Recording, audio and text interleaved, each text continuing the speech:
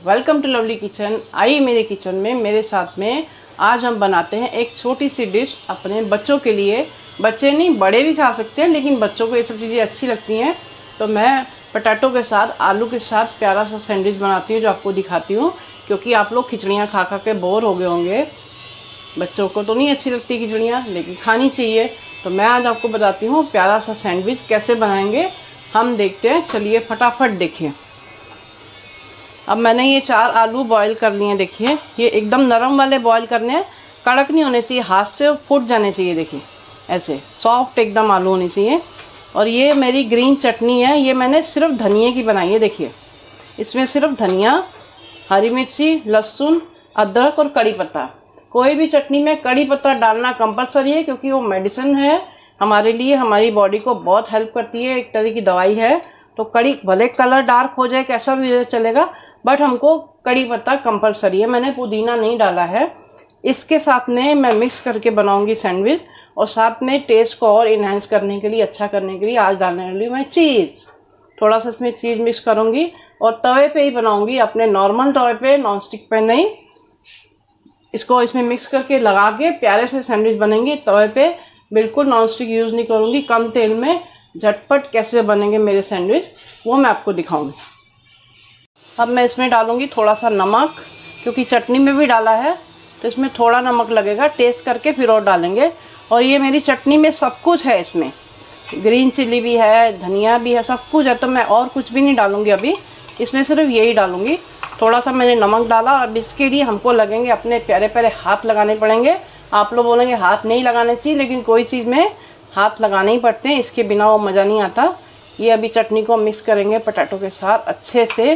पूरा इसका like paste बन जाएगा ग्रीन जो कि देखने में लगेगा कैसा है बट टेस्ट बहुत ही अच्छा आने वाला है। और थोड़े से इसमें चाहिए तो आप लोग मसाले और ऐड कर सकते हैं। जैसे कि आपको रेड चिली डालनी है, चाट मसाला डालना है, हल्का फुल्का वो ऐड कर सकते हैं। मैं भी देखती हूँ, थोड़ा करती हूँ, लेकिन पहले मैं टेस्ट करूँगी, उसके बाद करूँगी। थोड़ा सा इसमें को, आपके पास कोई भी चाट मसाला है, आमचूर भी चलेगा। मैं थोड़ा सा देखिए चाट मसाला डालूँगी। इसको टेस्ट के लिए। बाकी मैंने और कुछ भी इसमें ऐड नहीं किया। देखिए, ये हो गया मेरा मसाला एकदम रेडी ऐसे ग्रीन ग्रीन देखिए, बच्चों के अंदर ग्रीन चटनी भी चली जाएगी और बच्चे एकदम हैप्पी हैप्पी हो जाएँगे खा के। उनको पता भी नहीं लगेगा मम्मी ने हमको क्या खिला दिया। ये देखिए, अभी ये इधर मेरी ब्रेड लग चुकी है। मैंने देखिए चीज़ पूरा एक ब्रेड पे लगा ली है। ऐसे। और अभी आपको इसमें भर देना खूब सारा। ये आलू का पेस्ट अच्छे से। कम नहीं डालना, कंजूसी नहीं करनी उसको। अच्छे से डालेंगे, फिर वो मज़ेदार बनेगा, एकदम फ्लफ़ी फिर उसको हम काट के खाएँगे। ये देखिए, ये हमने हो गया डाल दिया इसमें, और ये हम इसके ऊपर वापस से लगा देंगे चीज़ वाली ब्रेड और स्लो हाथ से इसको थोड़ा सा प्रेस करेंगे, ऐसा ज़ोर से नहीं दबाना, उसको प्रेशर नहीं देना। हल्के हाथ से बस उसको ऐसे रेडी करके दो तीन रख लेने हैं।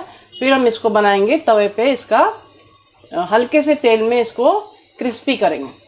सैंडविच देखिए रेडी हैं। अब मैं इसको तवे पे बनाने लगी हूँ एकदम कम तेल में। देखिए कैसे बनेंगे। देखिए, तवे पे आपको देखिए लोखंड का जिसमें हम चपाती बनाते हैं, वही तवा है। कुछ स्पेशल नहीं नॉन स्टिक नहीं, कुछ भी नहीं लेना। और थोड़ा सा तेल डाल के हम इसको स्लो गैस पे लेकिन एक ही बात का ध्यान रखना आपको गैस एकदम स्लो रखना है। इसको थोड़ा सा तेल लगा के रख दी, इसको साइड में कर देंगे। और अभी वापस हम दूसरा रखेंगे। और बस ऐसे थोड़ा सा तेल हम साइडों में डाल देंगे। ये आपके सैंडविच बिल्कुल मस्त बनेंगे। कोई प्रॉब्लम नहीं होगी। एकदम बाहर जैसे ग्रिल सैंडविच होंगे। एक ही बात का ध्यान रखना, आपको गैस तेज नहीं करना और पास में ही खड़े रहना। छोड़ के नहीं जाना। छोड़ेंगे तो वो कब काले हो जाएँगे, आपको मालूम नहीं पड़ने वाला। थोड़ी देर स्लो गैस पे ही साथ में खड़े रहना। है और अब मैं आपको बताने वाली हूँ, बता दें क्या थैंक यू बोलने वाली हूँ, मनीषा कुमारी जी को, जिनको मनीषा कुमारी जी ने भी मुझे एक प्यारा सा वीडियो बना के भेजा है। उनका वॉइस वीडियो भी है, उन्होंने वीडियो भी भेजा है और बहुत सारा थैंक्स बोला है। और मैं खुश होगी हैप्पी भी होगी। इस वीडियो में मैं उनकी फ़ोटो और उनका वॉइस मैसेज इस वीडियो में आपको अपलोड कर दूँगी। आप भी देख लीजिएगा, मनीषा कुमारी जी ने मुझे खुश कर दिया, मैं प्रसन्न होगी। तो आपको बताने के लिए बोल रही हूँ कि मैं वापस उनको प्यारा सा गिफ्ट भेजने वाली हूँ। अभी क्या भेजूँगी? अभी डिसाइड नहीं किया, उनको भी प्यारा सा गिफ्ट जाएगा।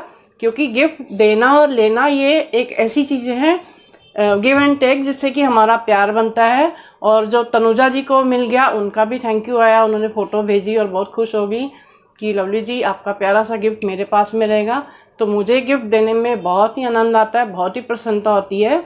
तो मैंने आज आपको मनीषा कुमारी जी को इस वीडियो के ज़रिए बहुत बहुत थैंक्स बोलती हूँ, जिन्होंने मुझे प्यार से भेजा।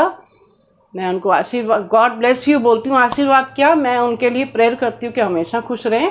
तो चलिए अभी हम देखते हैं अपने सैंडविच को। ये होने के बाद में इसको, हम थोड़ी देर के बाद इसको चेक करेंगे।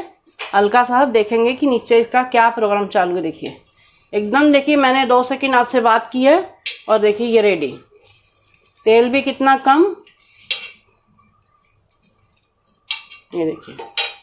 बस एक ही बात का ध्यान है, मैं वापस से बोल रही हूँ कि आपको बस गैस स्लो रखना है और बस थोड़ा सा ऐसे तेल डालना है बस। कुछ भी ढकना नहीं है, कुछ भी नहीं करना, एकदम क्रिस्पी सैंडविच हमारे बन के रेडी हो जाते हैं।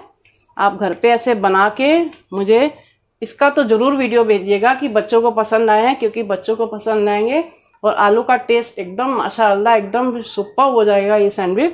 मुझे ज़रूर बना के भेजिएगा अभी मैं झटपट इसको निकाल के इसको करती हूँ प्लेट फिर आपको बताती हूँ।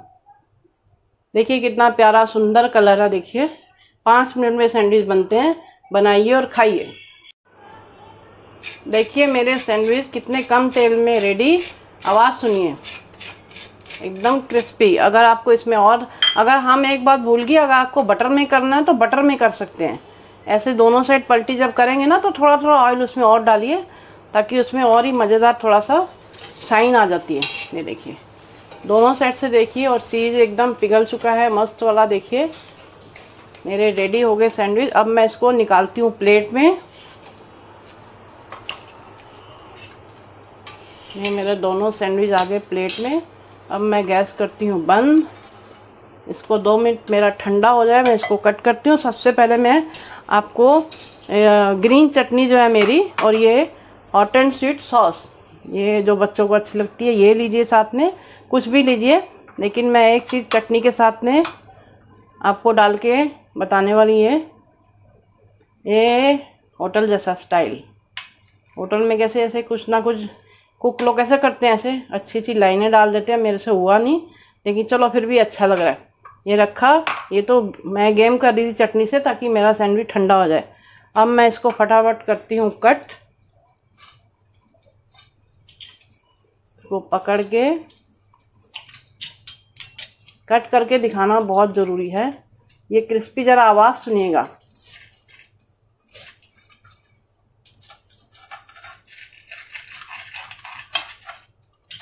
करते हैं दूसरा वाला कट।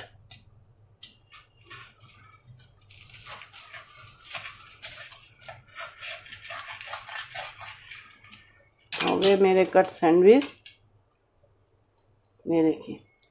ग्रीन ग्रीन सैंडविच अंदर से बहुत ही प्यारा, सुंदर, ये देखिए।